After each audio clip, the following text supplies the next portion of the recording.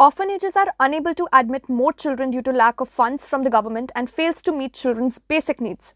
According to Child Protection Unit, there are 900 children shelters in Bangalore, out of which only 142 are funded by the government.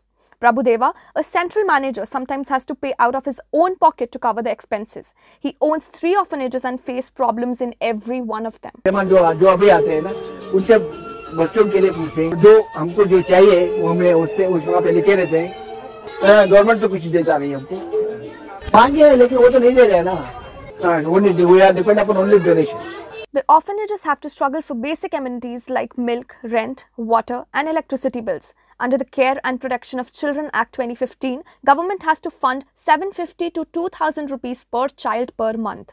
According to orphanages, it is not easy to go and take help from the government under different schemes. There are various schemes, but all of them need to have special requirements which are always difficult to fulfill. They have to put out notice to cover their essential expenses. कभी कभी public से होता है नहीं है तो हमारे trust members charitable members directors वैसे शेयर में से कुछ भी फंडिंग्स नहीं थोड़ी बहुत प्रोसीजर ज़्यादा रहता है हमारे पास उतनी ज़्यादा टाइम भी नहीं है There are more than 150 children who became orphan after the pandemic struck in 2020.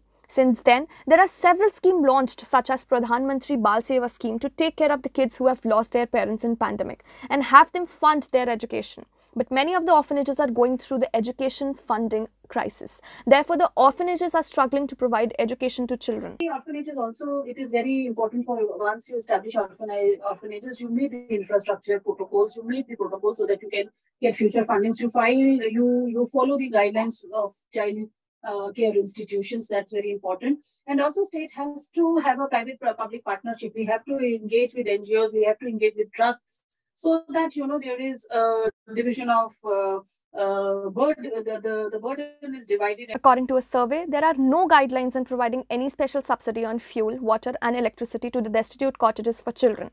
The government has to fulfill the basic requirements of these orphanages to increase efficiency and reduce the financial burden. This is reporter Astha Chopra reporting for CityCast, Bangalore.